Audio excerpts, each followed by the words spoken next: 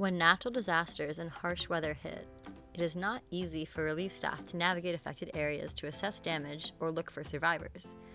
Emerging technologies can be used to improve response and relief efforts.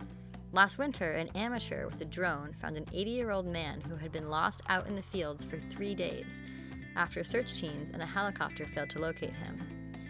In an American Red Cross sponsored study, aerial drones were identified as the most promising and powerful new technologies to improve disaster response and relief operations. Our project aims to use top tier resources and professional equipment to create an integrated drone system for search and post disaster assessment. We are creating an unmanned aerial search and recovery assistant, Asura. The system will leverage the expertise of relief staff and allow them to extend their reach.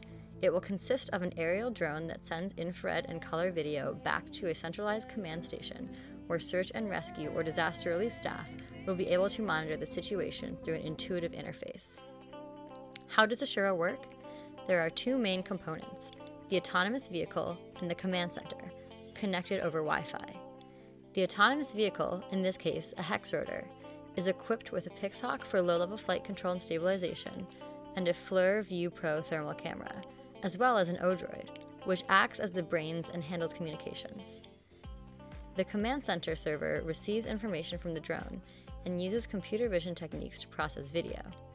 The server serves a web app where users can view video and send commands to the drone, which is compatible both on PC and mobile.